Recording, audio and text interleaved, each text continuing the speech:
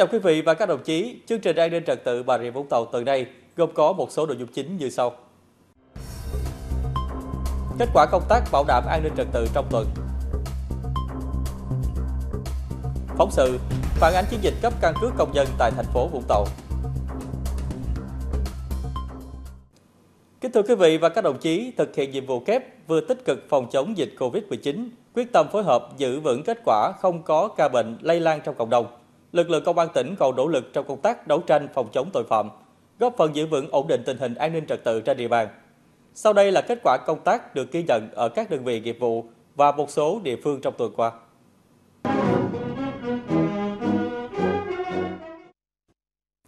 Thưa quý vị, vừa qua cơ quan cảnh sát điều tra công an tỉnh Bà Rịa Vũng Tàu đã ra lệnh khởi tố bắt tạm giam đối với Lưu Thị Kim Nhã, 41 tuổi, trú tại huyện Long Điền, Võ Minh Lĩnh, 32 tuổi, trú tại tỉnh Vĩnh Long, Tranh Lan Lê Quyết, 23 tuổi, trú tại tỉnh Gia Lai, để điều tra về hành vi mua bán, vận chuyển hàng cấm là thuốc lá điếu nhập lậu.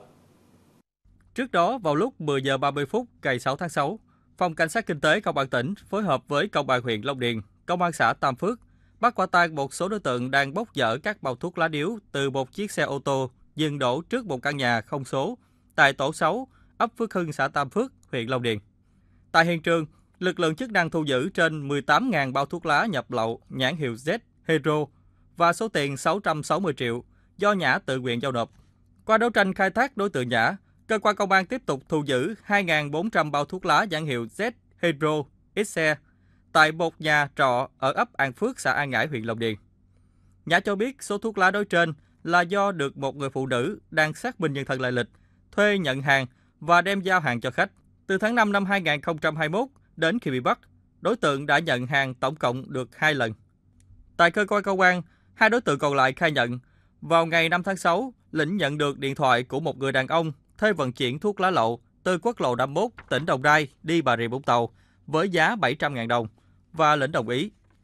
Riêng Quyết cũng được người này thuê với giá 300.000 đồng, nhưng không cho biết sẽ chở hàng gì.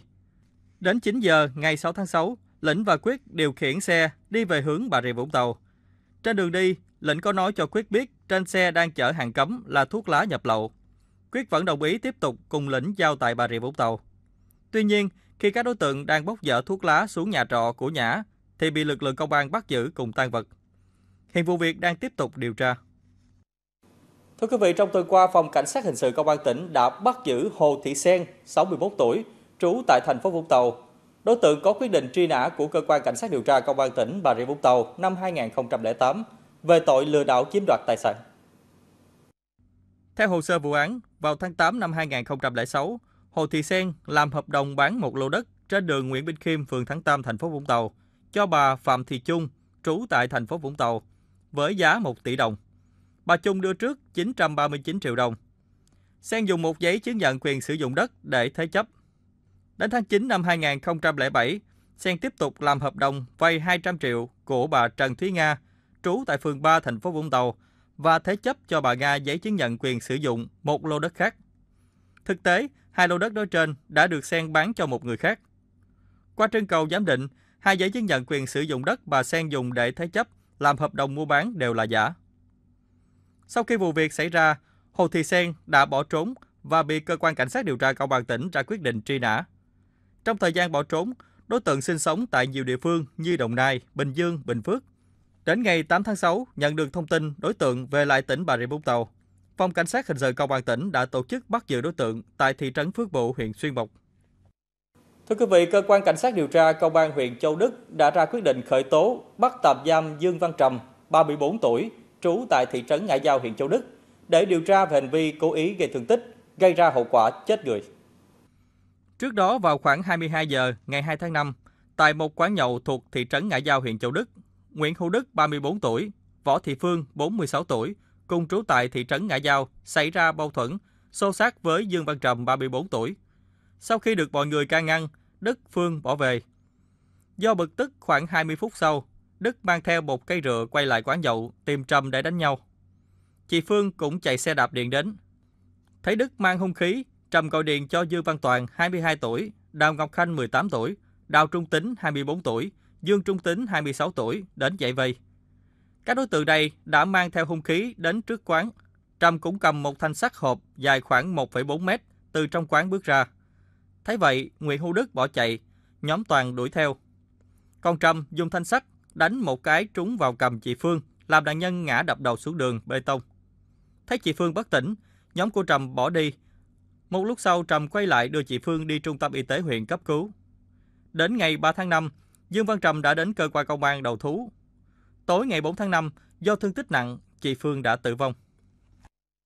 Thưa quý vị, cũng tại huyện Châu Đức, cơ quan công an đã ra lệnh khởi tố, bắt tạm giam đối tượng Lê Huỳnh Long, 21 tuổi, trú tại xã Xuân Sơn, huyện Châu Đức, về hành vi cướp tài sản. Vào lúc 13 giờ ngày 10 tháng 4, khi đang điều khiển xe máy đi ngang khu vực Nghĩa Trang thuộc thôn Quảng Giao, xã Xuân Sơn, huyện Châu Đức, Lê Huỳnh Long nhìn thấy người quen là em Hoàng Phúc, 16 tuổi, và anh Nguyễn Ngọc Minh, 23 tuổi, trú tại huyện Xuyên Mộc. Long chặn đầu xe và yêu cầu Minh Phúc đi theo mình vào trong Nghĩa Trang. Khi đến nơi, nhìn thấy anh Minh mang theo một chiếc điện thoại di động iPhone 7 Plus, nên nảy sinh ý định chiếm đoạt để đem đi cầm, lấy tiền mua ma túy sử dụng. Long yêu cầu anh Minh đưa điện thoại cho mình xem, nhưng người này không đồng ý. Đối tượng giật lấy cây rựa trên tay Phúc, chém vào mũ bảo hiểm Minh đang đội khiến nạn nhân hoảng sợ, đưa điện thoại cho Long. Sau khi lấy điện thoại, Long nói với Minh sẽ mang đi cầm, hẹn sáng mai sẽ trả lại. Tuy nhiên, sau đó đối tượng đã đem điện thoại đến một vựa ve chai ở xã Đá Bạc, cầm với giá 500.000 đồng và mua ma túy sử dụng hết. Không thấy Long chuột điện thoại trả mình, anh Minh đã trình báo cơ quan công an. Quá trình điều tra, đối tượng Lê Huỳnh Long đã thừa nhận hành vi phạm tội của mình.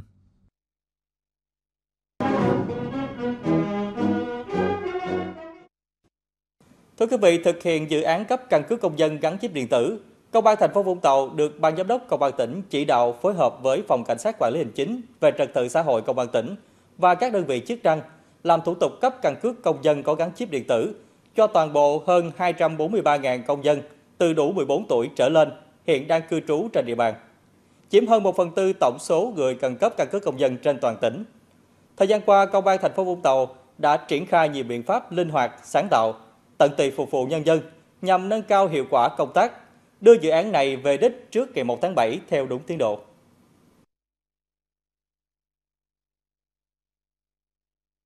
Nhằm phục vụ tốt nhất cho người dân trong việc làm thủ tục cấp căn cước công dân gắn chip điện tử,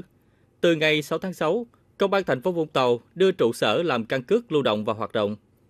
Trụ sở lưu động này là một chiếc ô tô được lắp đặt đầy đủ hệ thống thiết bị máy móc để thu thập các dữ liệu làm căn cước công dân. Những ngày qua, trụ sở làm việc đặc biệt này đã xuất hiện tại các trường học, doanh nghiệp, các cơ sở tôn giáo để phục vụ người dân. Để nâng cao hiệu quả phục vụ nhân dân, Công an thành phố Vũng Tàu đã phối hợp với các đơn vị chức năng thông báo lịch trình di chuyển làm thủ tục cấp căn cước bằng xe lưu động để người dân chủ động sắp xếp thời gian đến làm căn cước.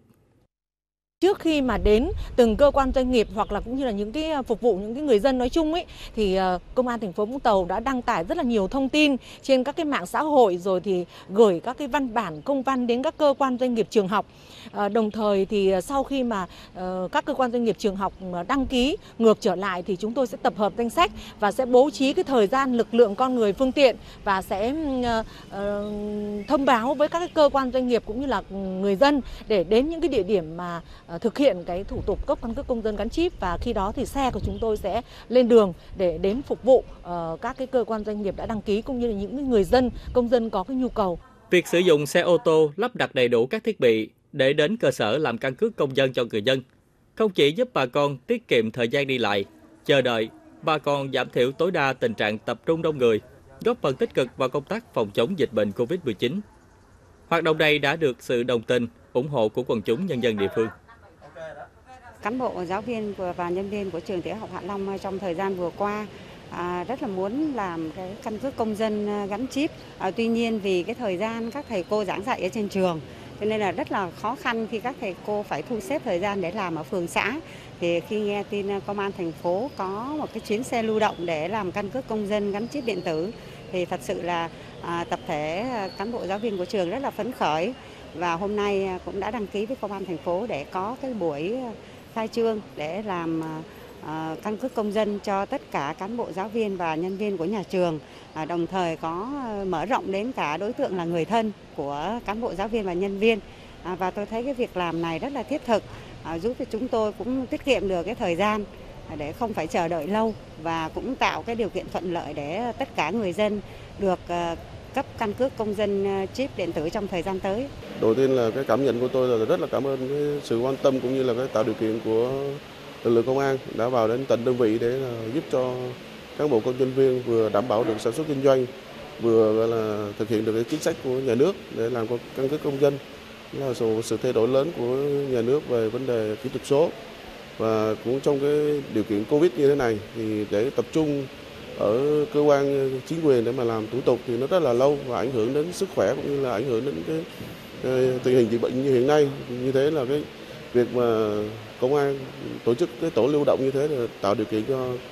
không những là công ty cũng như là tạo điều kiện cho người dân rất là thuận lợi trong vấn đề gọi là uh, làm căn cước cũng như là thực hiện các cái chính sách mà của đảng và nhà nước đưa ra. Thực hiện chiến dịch cấp căn cước công dân gắn chip điện tử, Công an thành phố Vũng Tàu được ban giám đốc công an tỉnh chỉ đạo phối hợp với phòng cảnh sát quản lý hành chính về trật tự xã hội công an tỉnh và các đơn vị chức năng làm thủ tục cấp căn cước công dân gắn chip điện tử cho toàn bộ 243.737 công dân từ 14 tuổi trở lên bao gồm cả công dân có hộ khẩu thường trú và công dân tạm trú và lưu trú trên địa bàn thành phố, chiếm hơn 1 phần tư toàn tỉnh. Để hoàn thành nhiệm vụ này trước ngày 1 tháng 7 như kế hoạch đề ra, Công an thành phố Vũng Tàu đã tổ chức khảo sát, thu thập dữ liệu dân cư, đẩy mạnh tuyên truyền, phổ biến tầm quan trọng của căn cước công dân gắn chip điện tử đến các tầng lớp nhân dân, đồng thời triển khai các tổ công tác làm thủ tục tiếp nhận, cấp căn cước công dân gắn chip điện tử cho người dân. Trong đó, gồm một tổ làm thường xuyên tại số 6A Lê Quý Đôn, phường 1, thành phố Vũng Tàu và các tổ làm lưu động tại các phường, xã trên địa bàn thành phố. Chúng tôi đã tham mưu cho Ban Chỉ huy Công an thành phố để tham mưu cho thành ủy, ủy ban nhân dân thành phố Vũng Tàu để ban hành cái chỉ thị 09 để chỉ đạo các đảng ủy, ủy ban nhân dân xã phường để phát huy sức mạnh tổng hợp của cả hệ thống chính trị. Thứ hai nữa là chúng tôi làm tốt cái công tác điều tra cơ bản, khảo sát số lượng danh sách, số điện thoại của những người dân mà thuộc đối tượng cấp căn cước gắn chip. Và đặc biệt là trong cái mùa dịch thì chúng tôi là thực hiện cái việc là tổ chức nhiều cái trạm cấp lưu động. Muốn làm cái việc này thì chúng tôi phải khảo sát và điều tra cơ bản trước và chúng tôi là hẹn dân chính xác chờ để cho nhân dân đến làm, không phải chờ đợi chen chúc đông. Thực hiện tốt giãn cách xã hội, chúng tôi cũng làm tốt cái công tác động viên cán bộ chiến sĩ